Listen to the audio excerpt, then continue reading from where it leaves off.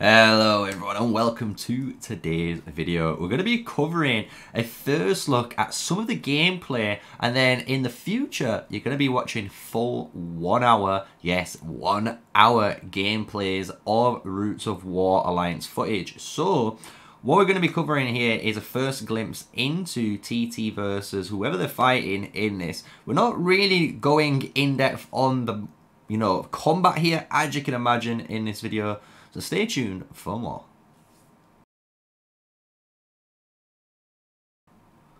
Hello everyone. So yes, we're going to be going over basically this first look at this combat system. So we're going to be seeing how Roots of War operates. It's going to be a nice little ease into it before the big boy videos come out where we're going to be showcasing the big 30 versus 30 combats.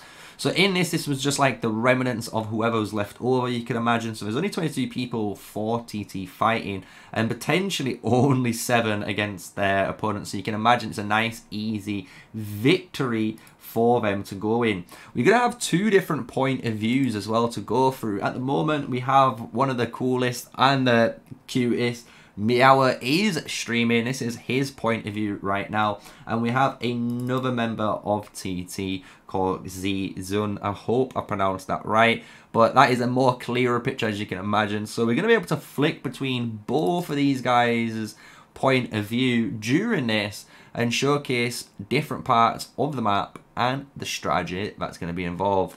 So when we look at the timer, it is almost go time for him. Five seconds to go. Hope you guys are strapped in. And the cool thing is, we're going to see how this all works, right?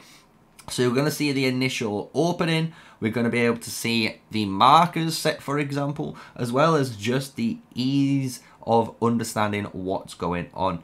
So here we've got our Z Zun, and then if we go onto my screen, let's just see he's probably doing his own intro himself.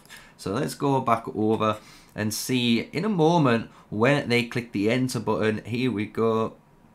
Hitting the confirm, and just like that, as you can imagine, like Ark of Osiris, you are teleported into the new zone.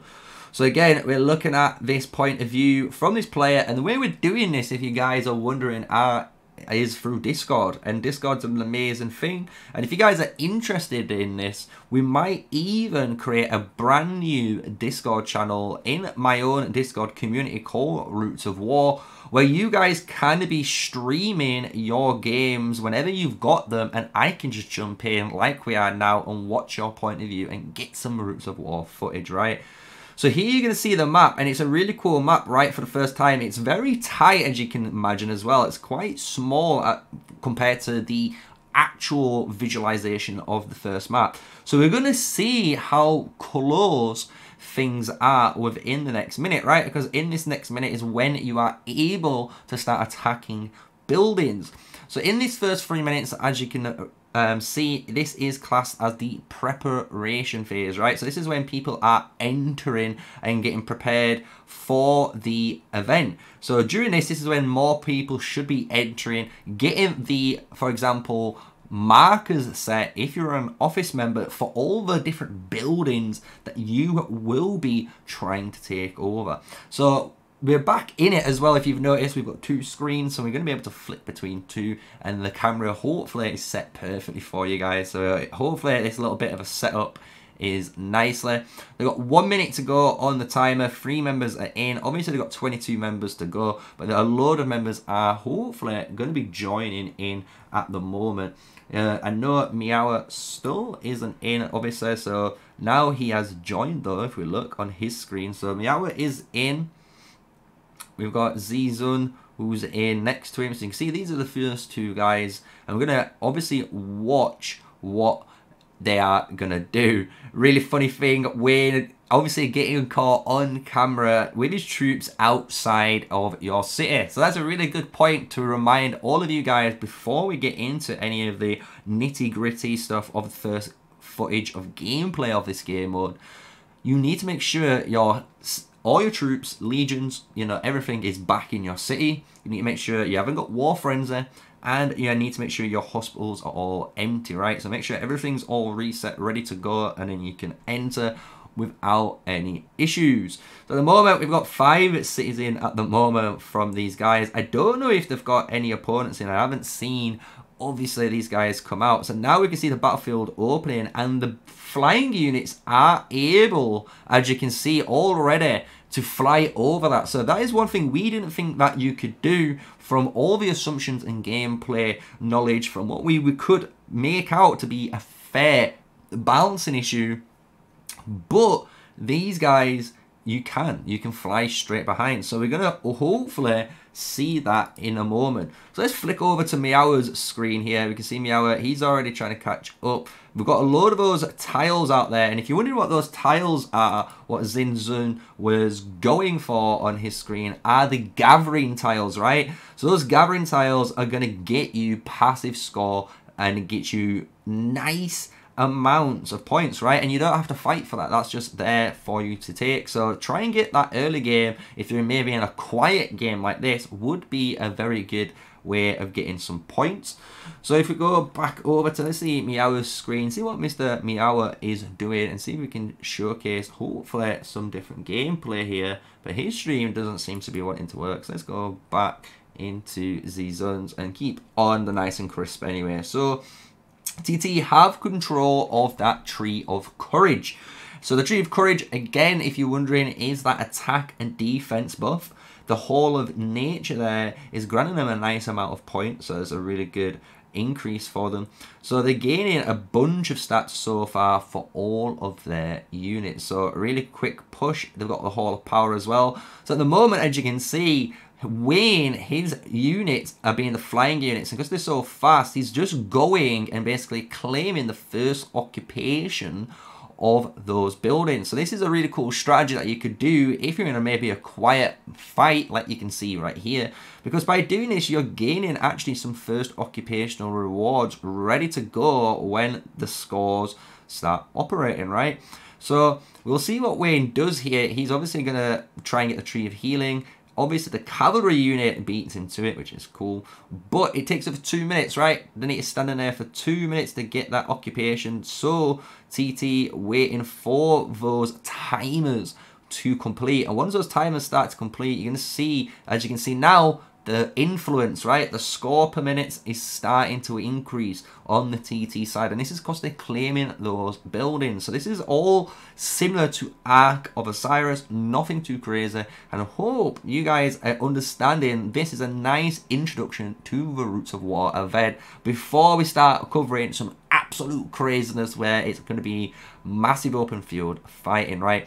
So the outpost here, really cool building to capture as well. Getting that is going to give you Fog of War. So getting that Fog of War is going to allow you to see more. And the cool thing again in this is, as you can see, Z Zun isn't using these units. This is someone else's units, but they have their own AoE. So you can see now in this zoom out, he can't see much, right? It's all blacked out. But those units further up, like those ones at that Hall of Nature, they're creating vision for you as a player to see. And you can always obviously react to this.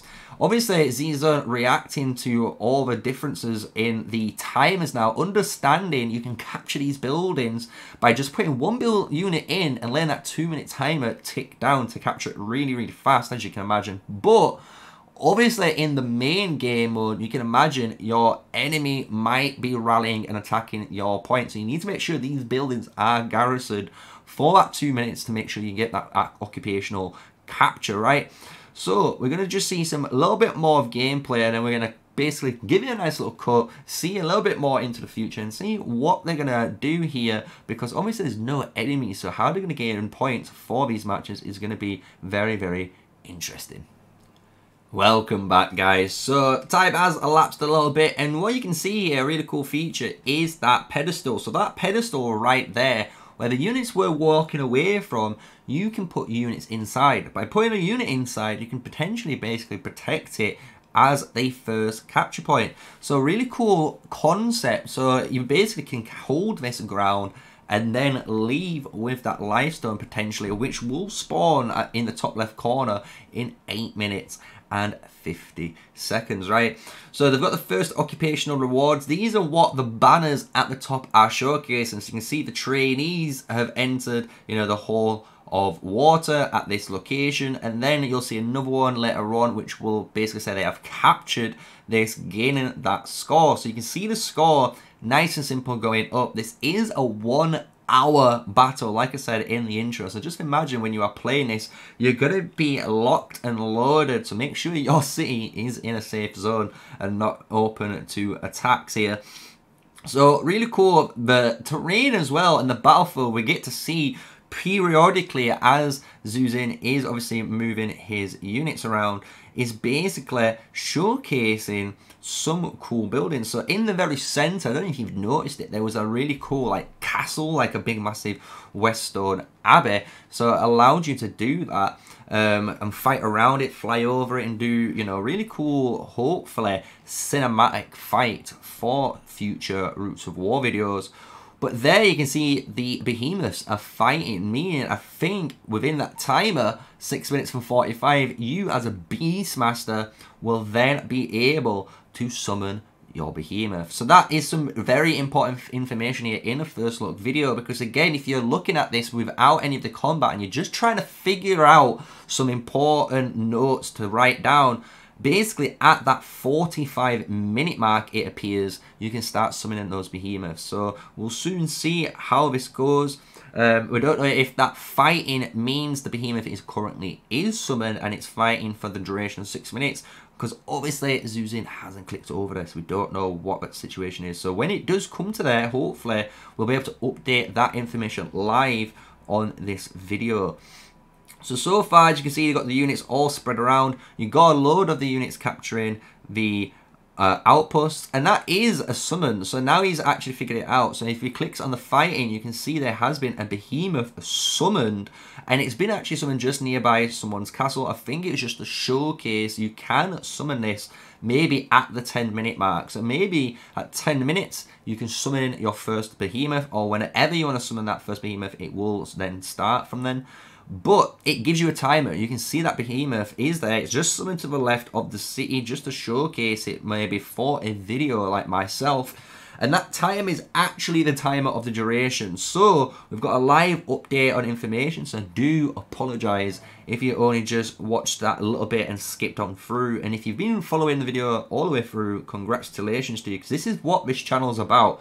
We're all about learning and adapting as soon as we see it, right? So we know the now Lifestone will be available in 5 minutes and 50 seconds. And then after, again, another 4 minutes and 50 seconds, that behemoth has been summoned will despawn. So obviously there's a timer for those behemoths. They can't last forever. Obviously these behemoths can be destroyed. Remember, if you are fighting on the battlefield, you will be able to actually target these guys and fight them and kill them so they're not on the battlefield, right? So obviously nice easy introduction so far video to it. We're going to wait uh, and skip ahead of time to see these life stones spawn and hopefully see how this interaction works because you can see again we've got units ready at those locations to capture it and showcase capturing them for you Hello, welcome back. I'm going to talk about a little bit of the UI again because I think there's some more information about the UI that we haven't talked about and it is that top right corner. If you look at the very top right corner, that is the map where you get to see, right? So the white, big, almost trapezium is your camera. So that's what you're looking at on the vicinity. So if you keep watching that top right corner where his gems is, you're going to see that white box move.